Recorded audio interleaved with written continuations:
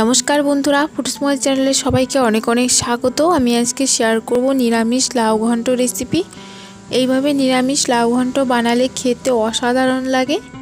আপনারা যে কোনো নিরামিষ দিনে এই লাউ ঘন্ট এইভাবে বানাতে পারেন। চলুন দেখে নিই। আমি এখানে লাউ ঘন্ট বানানোর জন্য লাউগুলোকে এইভাবে কেটে নিয়েছি। প্রথমে একটা কড়াই বসিয়ে দেব। কড়াইতে দিয়ে দেব হাফ কাপ মুগ ডাল। এবার আমি গ্যাসটাকে মিডিয়াম ফ্লেমে রেখে মুগ ডালটাকে হালকা ভেজে নেব।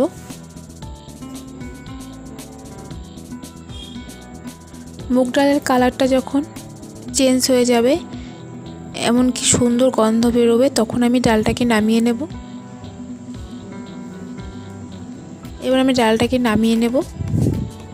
এবার শুকনো খোলায় বড়িগুলোকে ভেজে নেব।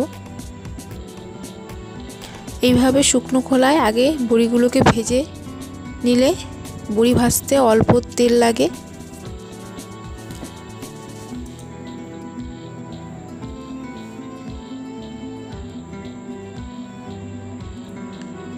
এবার আমি অল্প তেল দিয়ে বড়িগুলোকে ভেজে নেব।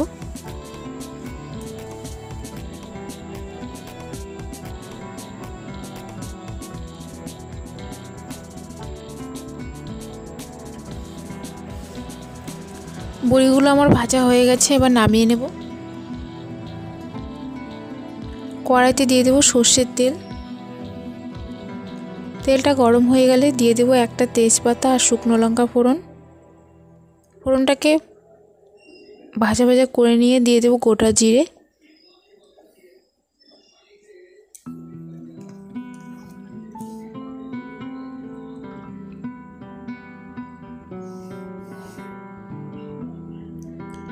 এবার আমি কেটে রাখা লাউগুলোকে দিয়ে দেবো।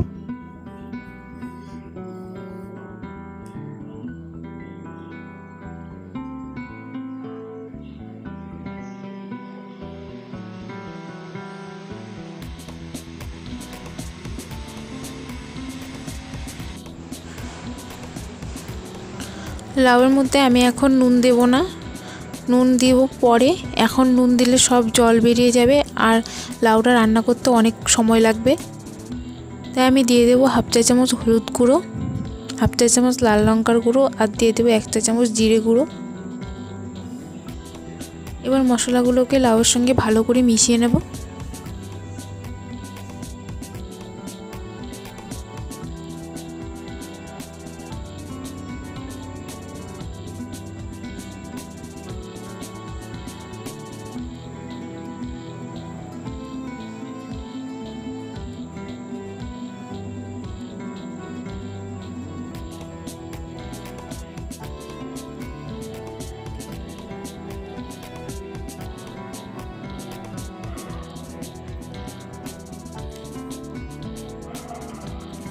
এবার আমি দিয়ে দেবো ভেজে রাখা মুগ ডালগুলোকে। দিয়ে একসঙ্গে মিশিয়ে নেব। এবার আমি দেবো এক চামচ আদা বাটা। দিয়ে দেবো কয়েকটা চেরা কাঁচা লঙ্কা।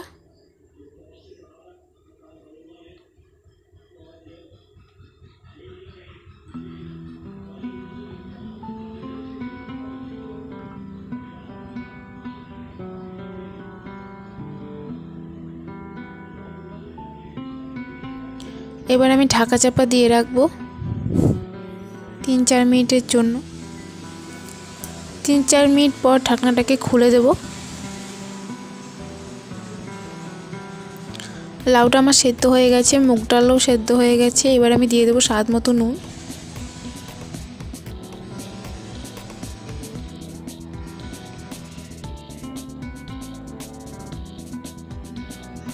দিয়ে দেবো ভেজে রাখা ডালের বড়িগুলোকে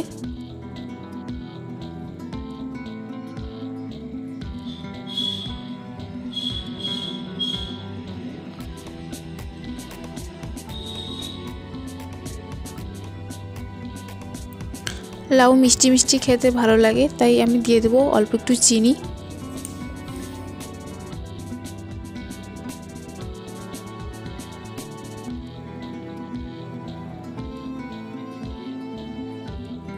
লাউ ঘন্টটা আমার হয়ে গেছে, এবার নামিয়ে নেব। আপনারা বাড়িতে একবার এইভাবে লাউ ঘন্ট বানিয়ে খেয়ে দেখবেন, অপূর্ব খেতে লাগে। যদি ভালো লাগে এই রেসিপিটা তাহলে প্লিজ একটি লাইক কমেন্ট শেয়ার করবেন।